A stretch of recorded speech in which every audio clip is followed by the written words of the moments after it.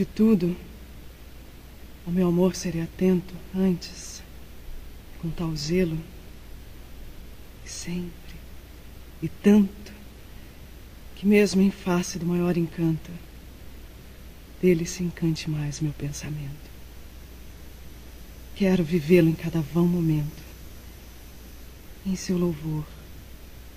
hei de espalhar meu canto, e rir meu riso, e derramar meu pranto ao seu pesar ou ao seu contentamento. E assim, quando mais tarde me procure, quem sabe a morte,